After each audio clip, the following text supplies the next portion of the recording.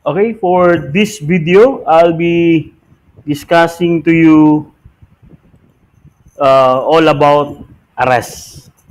So, let's start. So, what is arrest? Uh, arrest is the taking of person into custody in order that he be bound to answer for the commission of offense. So, uh, basically, ang keyword natin dito, arrest is taking the person into custody. Uh, paghuli. Okay? Bakit? Anong purpose ng arrest?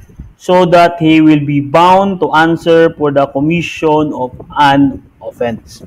So, but that's basically the um, purpose of arrest. And paano ba ginagawa ang arrest? How arrest is made? There are two ways, no? Two ways para ma ma-implement ang arrest. One is actual restraint of a person arrested and actual restraint and submission to the custody of the person making the arrest. So, actual restraint, pag pitusasan ka, hinawakan nga ng police, actual restraint na yun. Submission of custody, probably uh, voluntary surrender, that is also submission. So, example, yan, actual restraint. Hepe ng Argao Police inaresto dahil sa pagpatulog ng mga babaeng preso sa kanyang kwarto at opisina. Ito yung chief of police ng Argao Police Station dito sa Cebu. Hinuli. Bakit? Yung mga na, magagandang babaeng nahuli niya, doon niya pinapatulog sa kanyang kwarto or opisina. Okay, so hinuli siya, pinusasan, so that is an example of actual restraint of a person to be arrested. Pero yung isa naman, yung isa naman, um, police na umaming drug pusher, sumuko sa Malulus, Bulacan. So, yung pagsuko, okay, pag sumuko ka, that is what we call submission to the custody of person making the arrest. Now, kailan ba ma-issue ang warrant of arrest? Okay? Anong requisite para ma-issue ang warrant of arrest? Well, within 10 days from the filing of the complaint or information, the judge shall personally evaluate the resolution of prosecutor and supporting evidence. And if he finds probable cause, he shall issue warrant of arrest kung hindi pa aresto o commitment order if the person is already arrested. So, di ba yung uh, yung biktima magpa-file ng complaint at saka sa prosecutor tapos yung kung may probable cause yung prosecutor magpa-file ng information. Anong gagawin yan? Pag-file ng information sa court, ang next step dyan is yung judge. The judge will personally evaluate the resolution of prosecutor and supporting evidence at if he finds probable cause, he will issue what of arrest or commitment order. So pala nito, tingnan nyo. Order. No? Ito ay People of Philippines versus Laila de Lima and Ronnie Dayan. After careful evaluation of your information, okay, yung information, evaluate niya, and all evidence presented during preliminary investigation, tapos na yung preliminary investigation, conducted by Department of Justice, the court finds sufficient probable cause. Okay, may probable cause for the issuance of warrant of arrest. So, kaya anong kailangan para may issue ang warrant of arrest? Probable cause. Sino mag-determine doon? Yung judge. Against the accused Laila de Lima, Rafael Marcos Ragos, and Ronnie Palisok Dayat.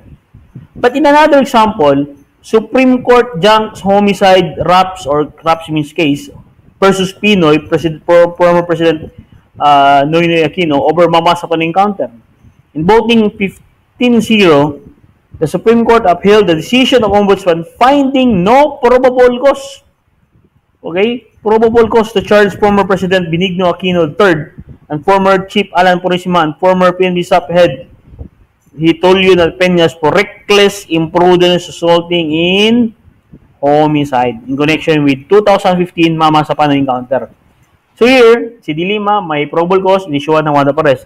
Dito naman, sa reckless imprudence resulting to, to homicide in connection with Mama sa Pano encounter, sabi ng korte, walang probable cause, kaya walang kaso.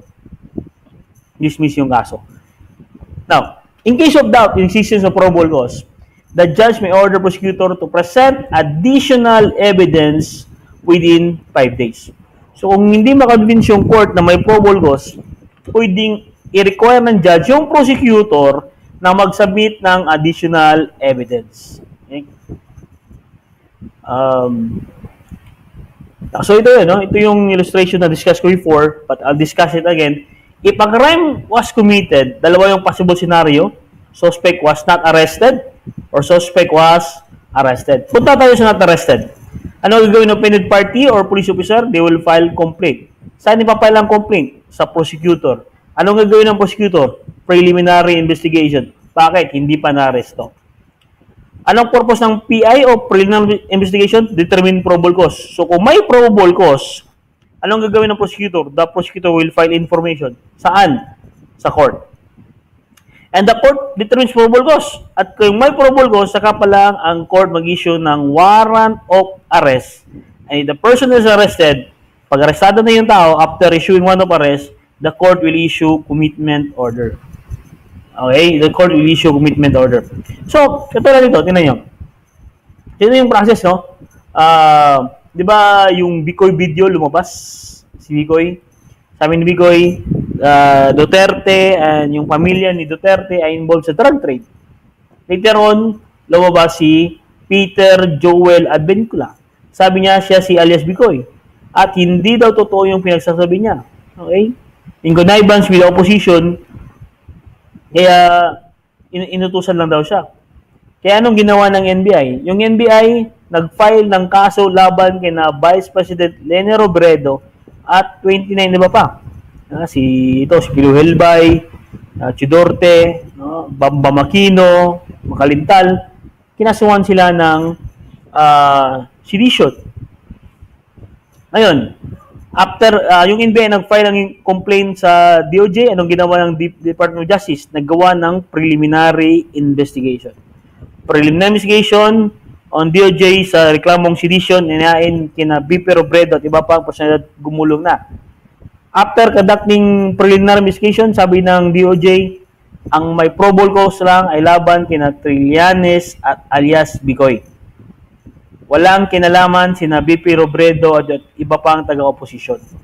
So, ang may probable cause lang sa sedition case ay si Trillanes at saka si alias Bicoy at saka yung 8 na iba pa. Nag-file silang information sa court.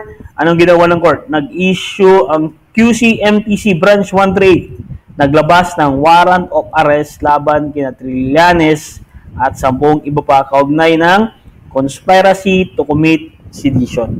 Okay, conspiracy to commit sedition. So, yan yung process no? para ma uh, malabas yung warrant of arrest. So, hindi hindi hindi, hindi basta-basta mailabas yung warrant of arrest.